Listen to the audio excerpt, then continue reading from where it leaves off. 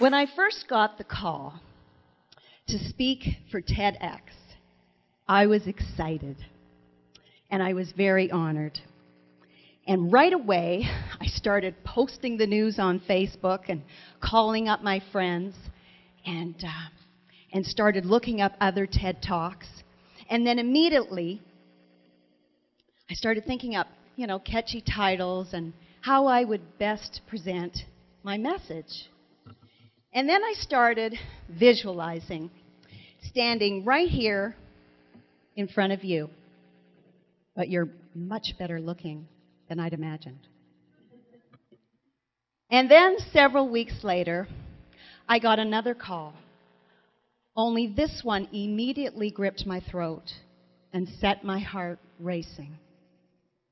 This was a very different kind of excitement, and yet one I'd experienced so many times before the dreaded phone call. These words shot right through me. Kelita, we think Billy may have drowned. I was on the other side of the country finishing up a singing and speaking tour when I got the call. Immediately, things began going through my mind. I thought, how could this be happening to me? One more time. But the mantra that I had when I'm weak, then I'm strong. And the words of Scripture My grace is sufficient for you, for my power is made perfect in weakness.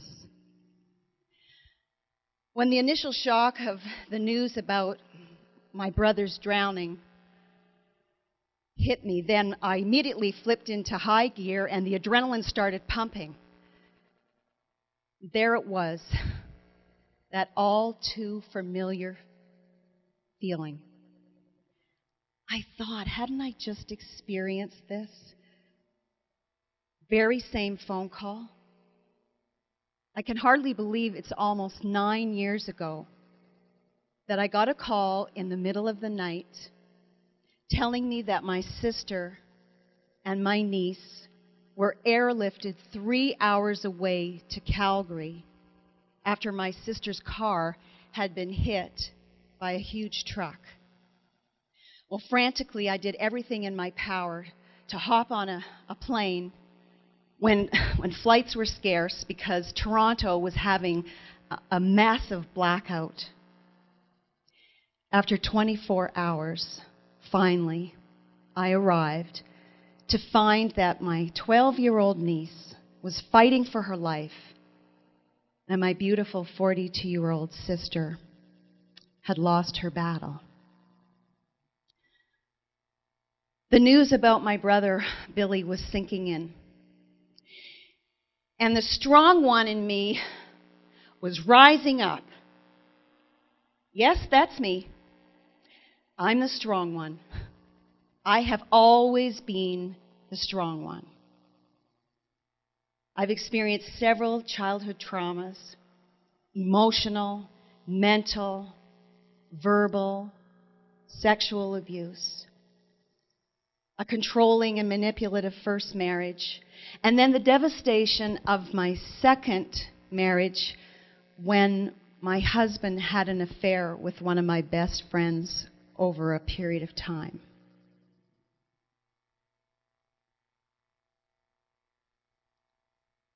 And here I was, one more time, picking myself off the floor. I can still remember as a little girl those anxious nights with my ear pressed tightly against my parents' bedroom listening to the pleas of my mother as she begged my father, as he made threats to shoot himself. One day I came home from school and my mother quickly and quietly removed us from the family home. And six months after that, at the age of 11, on my mother's 45th birthday, she got the call. And there would be no more threats. In order to try to understand my father's suicide, I was given a beautiful gift of music. A gift to be able to express my sorrow and my grief. And that's when I wrote my very first song. Four years after my mother passed away, sorry, four years later, at the age of 15, my mother's terminal breast cancer left me an orphan and in the clutches of a wicked stepfather. I had a lot to carry and grew up very quickly with all the emotional baggage that I had, plus the household duties that were thrust upon me. And then two years later, still grieving the loss of my mother, another dreaded phone call. My oldest brother, Jimmy, had been found dead of an accidental heroin overdose. Only now was it safe for me to release the deep, dark secret that had been held captive between Jimmy and myself.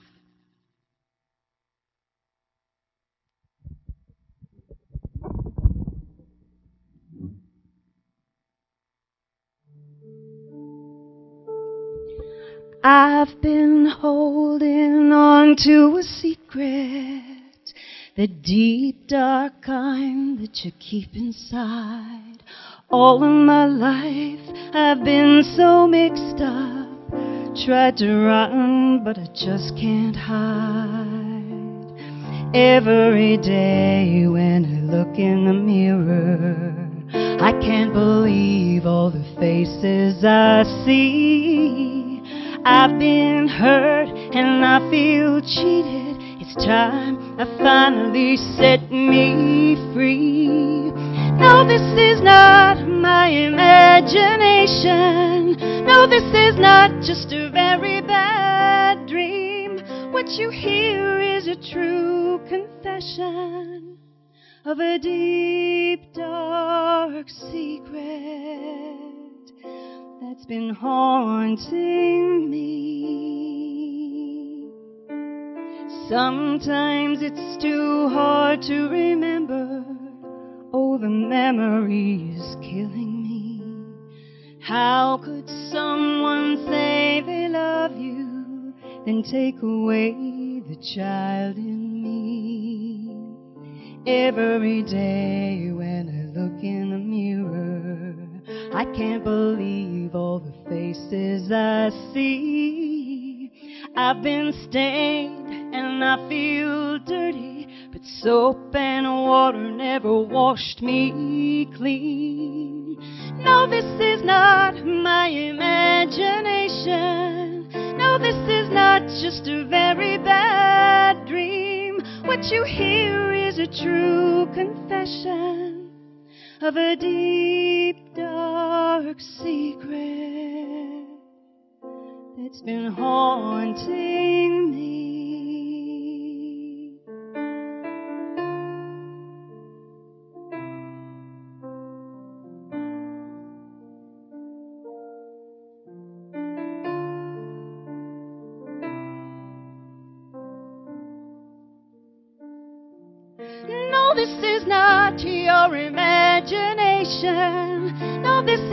not just a very bad dream. What you have is a true confession that the deep, dark secret, that the deep, dark secret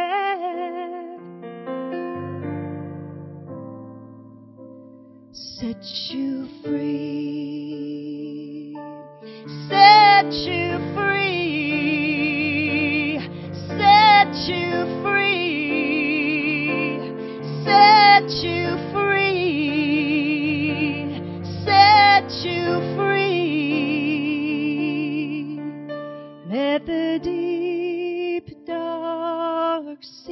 bread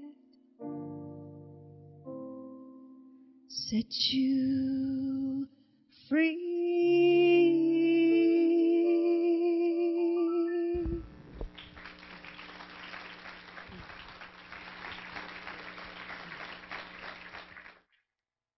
Well, at the age of 18, I traveled 22,000 kilom- 20, sorry, 2,200 miles to start a new life studying to be an actress. I always had big stars in my eyes and wanted to be famous. And during my first few months of this new life, I met the man who I would marry which unfortunately would only cause me more heartache and more pain. And I embarked upon a solo performing and music career and really had wonderful dreams of what I wanted to do. Unfortunately, during that period of time, I used alcohol and drugs and sex to hide all of the agony and the fear and the deep seated shame. And the walls that I erected were enormous, and the masks were countless. And in fact, I even created comedic characters to hide behind. And I brought a few of them with me here today. I want you to meet Sophelia Flanagan. Oh my gosh. This place is absolutely gorgeous. But I've been here for the whole day and I still haven't figured out who this TEDx guy is. When I do, I'll let you know. And then there's the fun loving Canadian gal, Jude Johansson.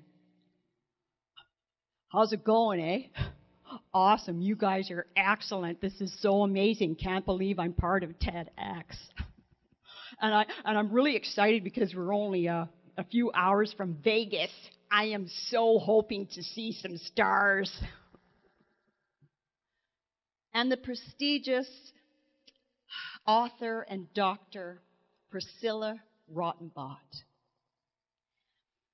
Good afternoon, ladies and gentlemen. It is my distinct pleasure to be with you all here. Thank you so much for allowing me to promote my brand new book, Priscilla Rottenbot Keeping Abreast of Your Health.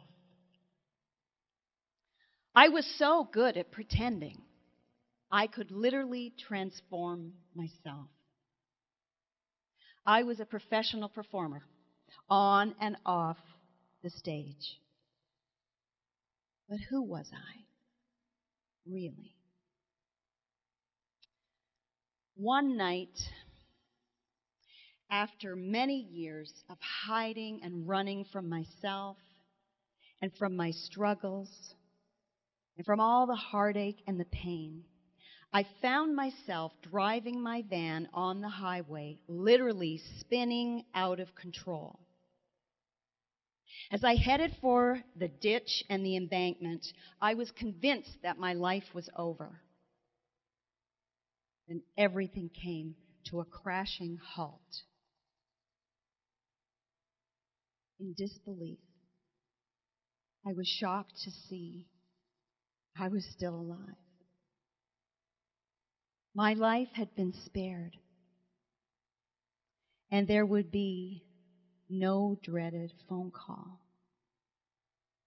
I was so grateful. As I slowly climbed out of the deep ditch in the middle of nowhere, I realized that after all these years, I finally could surrender. No more hiding, no more lying, and no more pretending. By the grace of God, I had finally found the courage to face my own truth and admit that I couldn't be the strong one anymore.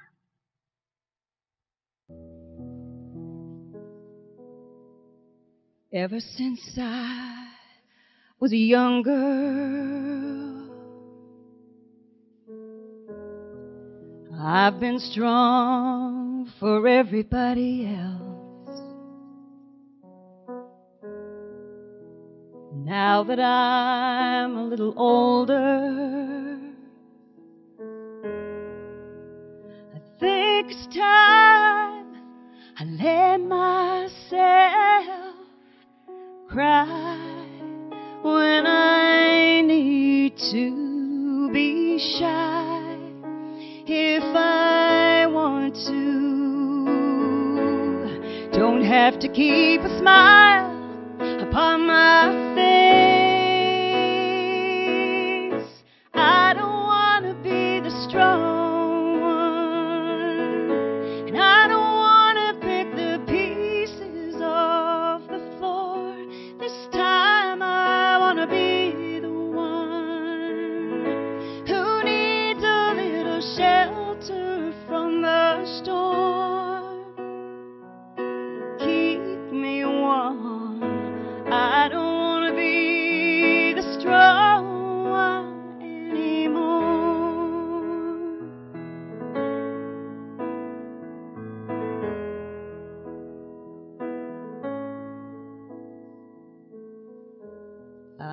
Tired of pretending,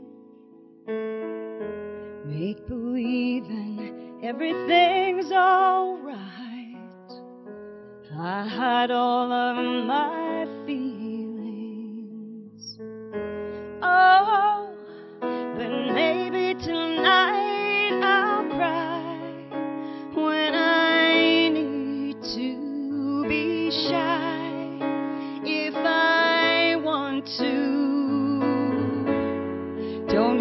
Have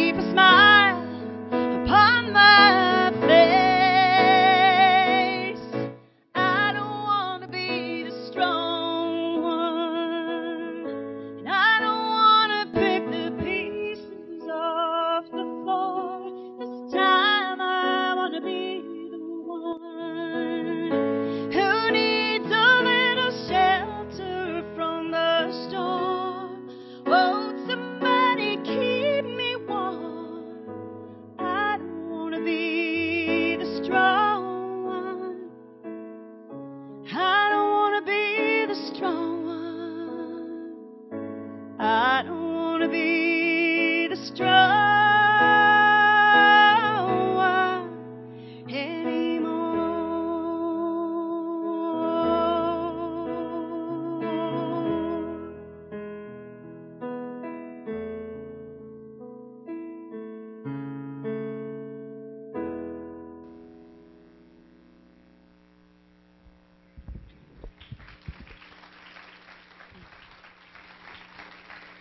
Thank you so much. If you're tired of being the strong one, I encourage you to have faith and trust in yourself that you can know true healing and peace. When we find the courage to fully surrender, we will truly experience our greatest Thank you.